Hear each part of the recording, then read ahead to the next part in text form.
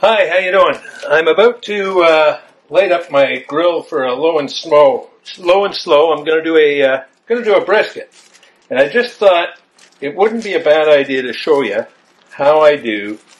I call them Shaggy's balls. I have a friend of mine who is a uh, bears a striking resemblance to the cartoon character. So I take a handful of cotton balls, 100% cotton. Take a handful, stuff them in there.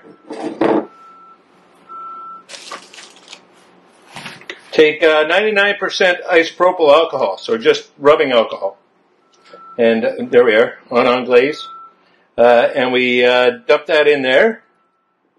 And just put uh, just put enough that everything's going to get a little bit. You don't want them soaked. You don't need a, a ton on there.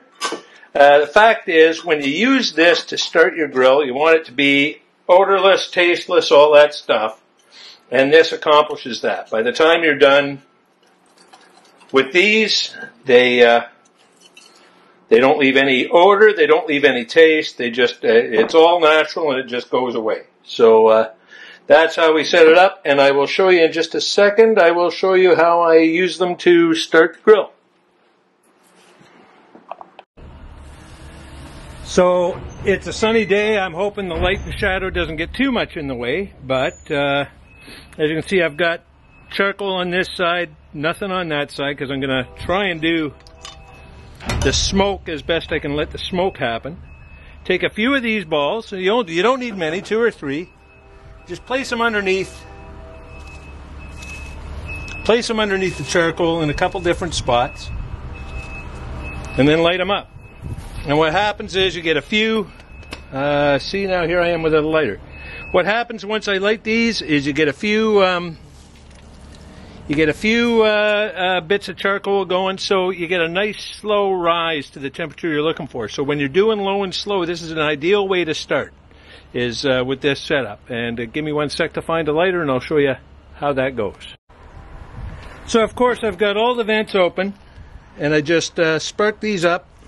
One, you just you don't even have to really get close to them with the uh, with the lighter, and they'll spark right up